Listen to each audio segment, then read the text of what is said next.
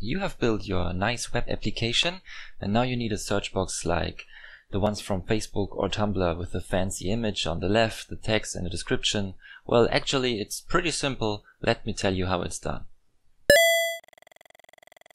Alright, we are starting with a simple input control, uh, just a text box like this one. And um, you can see it here. Input is just a text field. ID search box. I changed the styles a bit because I think when you've already built your web application, you already have your own style, uh, so there's not much to it. Of course, you can pause the video and copy this the styles uh, to change the input box.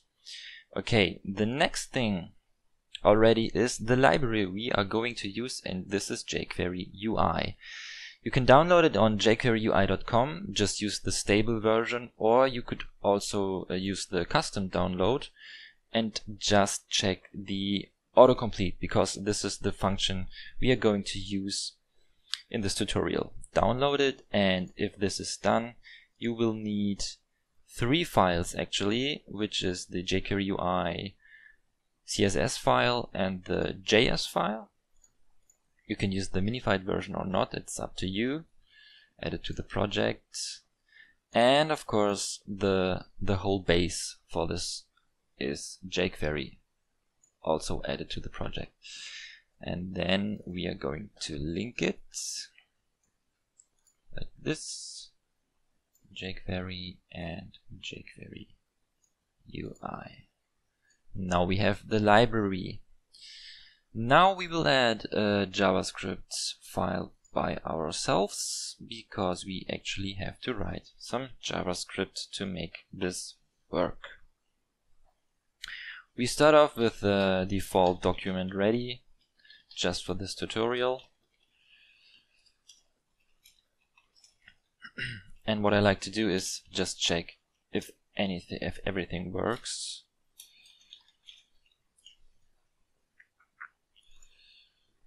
of course I have to link the file. Yeah, that's okay. Open the console with F12, reload, and yes, it works. Great. And now everything is ready for the actual autocomplete box. So go to your JavaScript file. And we could already start by saying give me the actual search box and add an autocomplete. Now the thing with this is you actually need some data because uh, well what are you going to, to look for? So in the usual case you would just call any web servers to get your data which will be an array of any complex objects. But in this case I will just create an array locally to keep things simple. And I want to look for some contacts and I like superhero movies and comics and that's why I'm going to use some superheroes. So an object could look like that. We have a first name of a superhero like Peter. We have a last name like Parker. And the hero name, maybe you already know it. Course, that's Spider-Man. And what I also want to display is the image URL. I've prepared the images, so I need a new folder. And the images are here. So you've now seen which heroes we are going to use and I will just skip that and create the array.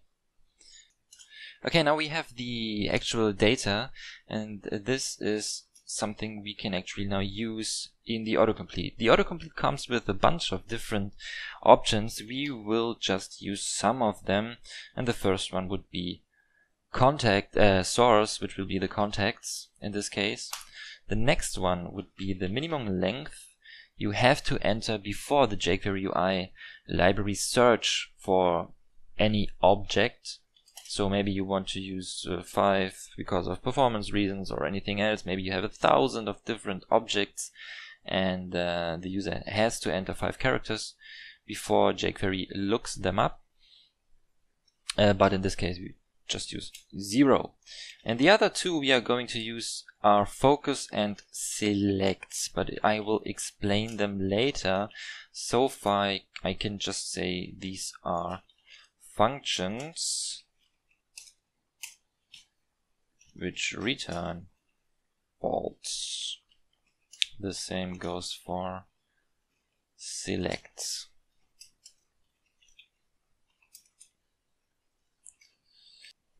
Okay, and now we can start off with the actual magic behind the jQuery UI autocomplete and the way how you're going to style your rendered item, your displayed item. And this goes like this. We have to define a render item and give it a function. And this function takes a UL element and the actual item, which is the same as your object in the array. And for simplicity reasons, I would just create a list element like that, but you can, it's up to you how you are going to create your elements. There are many ways in jQuery.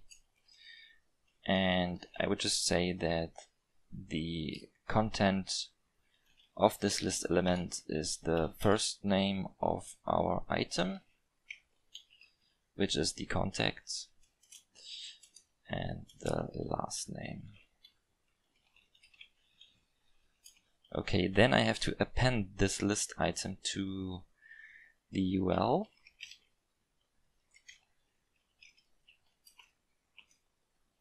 And then return it. Okay, we have added the autocomplete to the search box and then we told jQuery how to display any item of our array. Let's check that. I just hit the down arrow key on my keyboard and you see I have all the contacts and an error down here, but this is something we will change soon. Okay, actually we have all the contexts. But if I enter just one name, like Peter, or even just the two, these two characters, nothing happens. Well, you might ask, why is that so? Because it does not really work like you want it to work. The thing with jQuery autocomplete is that it takes the text you entered in your input control and compares it with one member of all the objects in your data and this member is called value.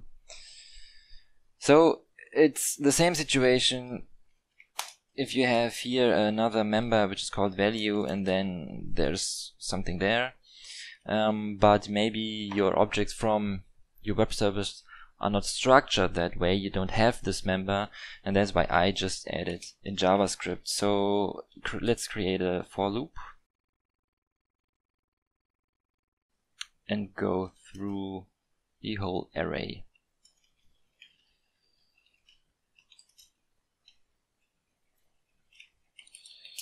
And let's just add a value member which is for example the first name of the contacts.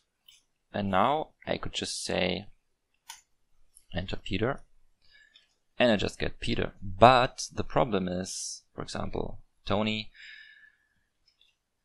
if I enter the last name, nothing happens. So we could just use a simple trick for that and do a little string concatenation.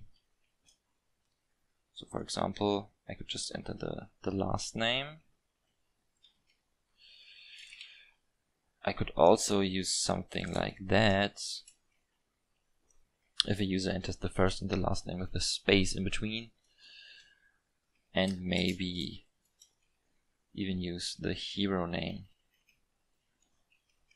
And now if you do it that way, I could just enter the Hulk and get Bruce Banner, for example. So now we got this out of our way. Um, in essence, that's everything to it. Now the real work starts by changing how the items are displayed, and this is the fancy stuff you see in Facebook or Tumblr. So, to make this video a little shorter, I have prepared this already. Um, I'll just copy and paste it, and then I will explain what I've done. So, again, completely up to you how you do this. But in this case, I have several divs. I start with an li, with a list element, then an outer div, where the image is put in, an image div, and then the actual image is put into this div. And then on the right side of that, I have another div, where I display the first name, the last name, and the hero name. Everything has its own class, but let's see how it looks when I don't add the CSS. Well, as you can see, I get the results and it actually works, but it just doesn't look right. So let's copy and paste the CSS.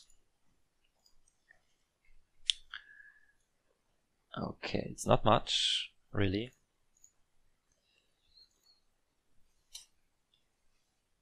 So, the first things I want to get out of my way are these two. These two classes are actually from jQuery UI and we just use them to override the default settings and that's why I added the important because it doesn't matter where you link to the CSS of jQuery UI, this is the style which is going to be used.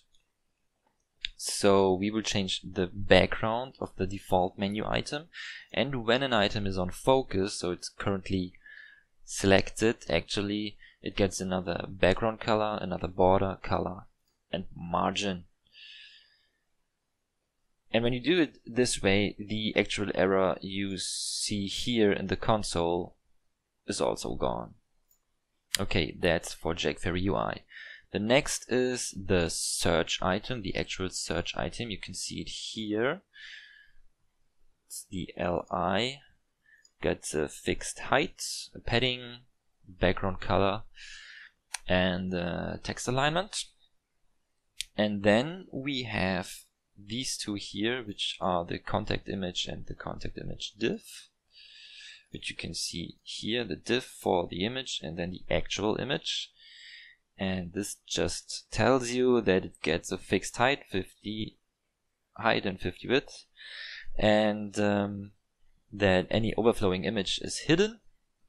That's why I put the, the height of the actual image to a fixed 50 pixels so I won't lose much of the image if it doesn't fit there and the aspect ratio is not correct.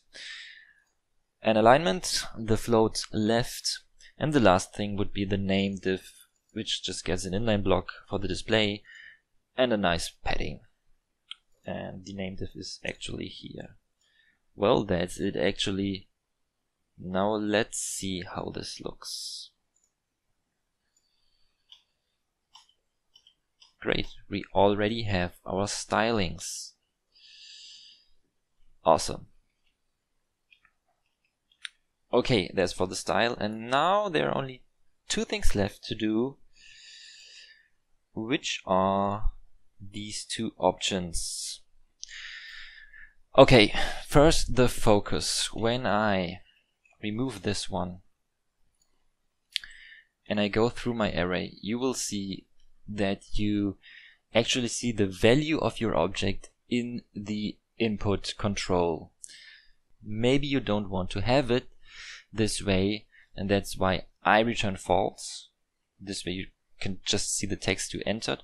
Or you could say, well, I want to display the hero name. So you can change that, of course, by setting the value of the actual item. Hero name. Okay, and now we go through the array and we see the hero name. And the last thing to do is when you hit enter, for example, maybe you want to open another page. So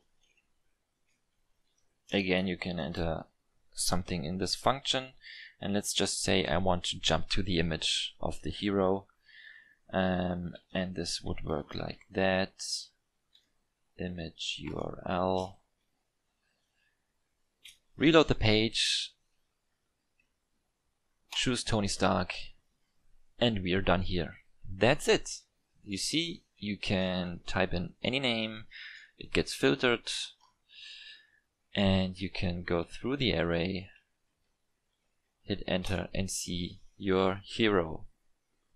If you have any questions leave them in the comments below. And uh, yeah that's everything you need to know actually for jQuery UI and an autocomplete Thanks for watching this video, I hope it was a solution to your problem. If so, please click the like button and if you need more tutorials just subscribe to my channel. Thank you and good luck with your next code project.